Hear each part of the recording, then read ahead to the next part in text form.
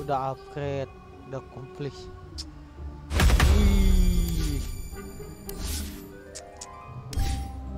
Masih ada lagi? Oh diulang lagi. Oke lah.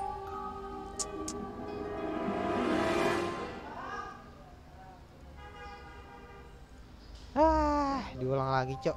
Main lagi main lagi lah. Kita jadi support gini.